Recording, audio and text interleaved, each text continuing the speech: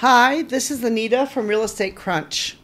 Today I want to talk a minute about steering, not in the sense of you're steering a car or steering a ship, but what steering means in real estate.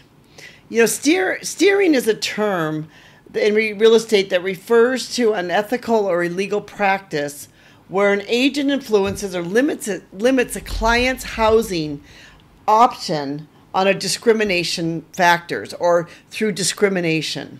Let me give you some examples. So basically, the, there's a Fair Housing Act where the Fair Housing Act says that in housing there should be no discrimination. And they specifically say with race, religion, gender, disability, familial status, or nationality. So, in other words, the same thing if somebody's looking for a job, they should not be discriminated against.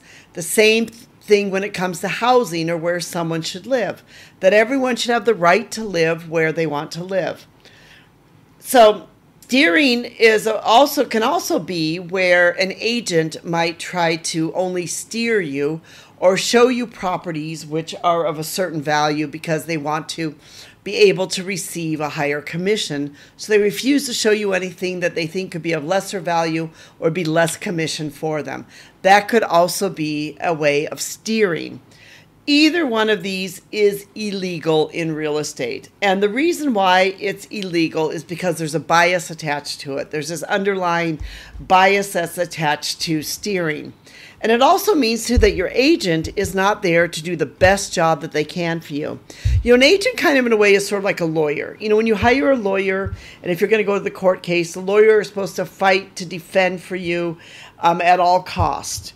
And so it's the same thing with an agent. An agent is supposed to, they work for you. You have employed them, and they are supposed to help you out at all costs or help you find the best decision that you can for yourself and for, you know, for what you need and for your own, your own property. So this is why steering is wrong and it's illegal. It's an ethical violation and it's also a legal one. In the United States, it's illegal because it contravenes the Fair Housing Act you know, there's a couple warning signs that maybe your agent is using this technique of steering. And here's a couple things that you can look for. They might be giving you like targeted neighborhood recommendations. Maybe you say, like, I really want to live in this neighborhood, but they say, oh no, you need to live in this neighborhood instead.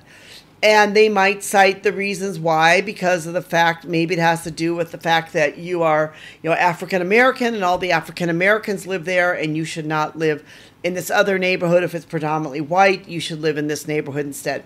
That would be a sense of steering. If they refuse to even if you tell them and say like no i want to i want to find property in this neighborhood but they refuse to show it to you then that could also be steering they can misrepresent um, crime rates in certain neighborhoods to try to get you to be able to buy there so they're not really telling you the truth so they're trying to somehow convince you and not really showing you what the truth would be.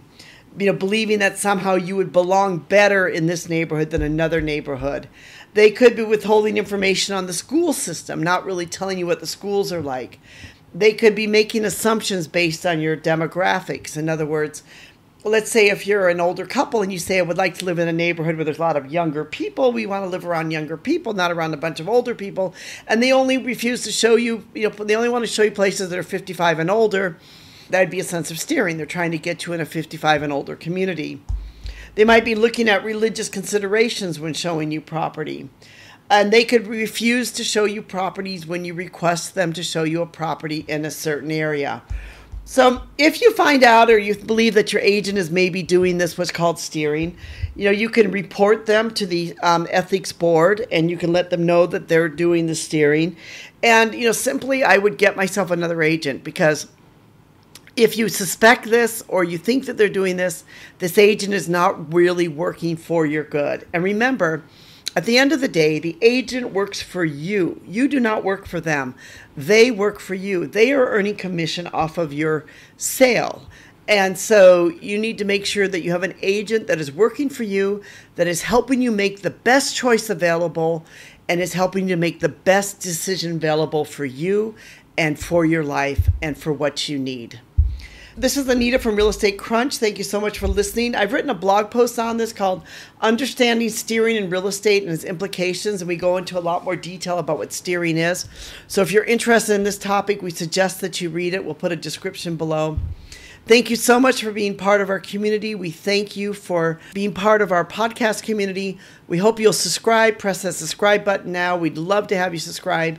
And so you can keep updated on every week when new information comes in, so you can spend a few minutes each week and learn something new about real estate. Thank you so much. We know without you, this would not be possible.